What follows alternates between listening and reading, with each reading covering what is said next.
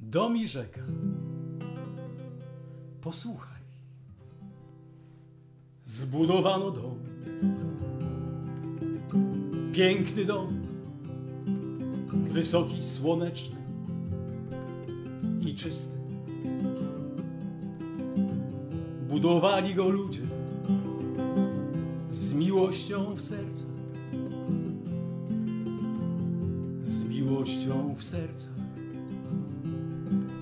W domu tym mieszkali dobrzy i uczciwi ludzie, którzy dbali o niego, choć on o tym nie wiedział.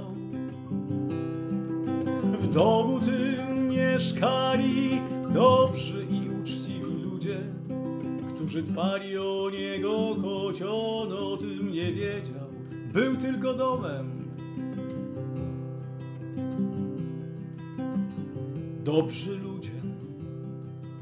powoli zaczęli odchodzić, a ich miejsce zajęli źli ludzie.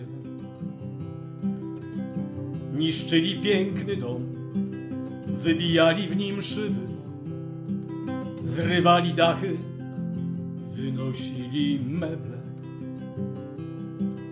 Niszczyli piękny dom, wybijali w nim szyby, zrywali dachy, wynosili meble.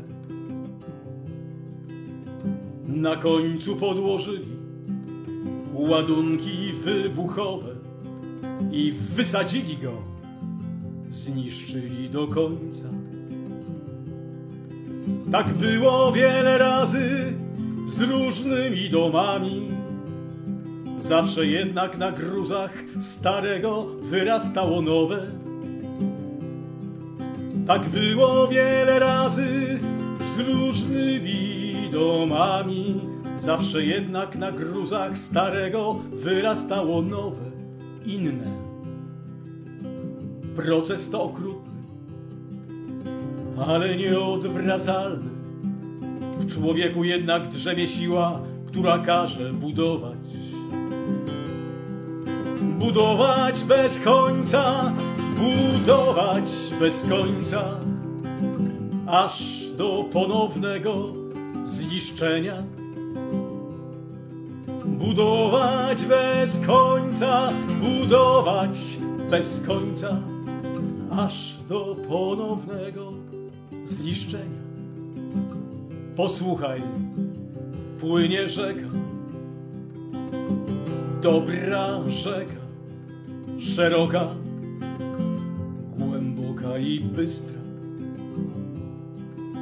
Wielu ludzi chciałoby zniszczyć jej piękno, sprowadzić do racjonalnego okrucieństwa tamy.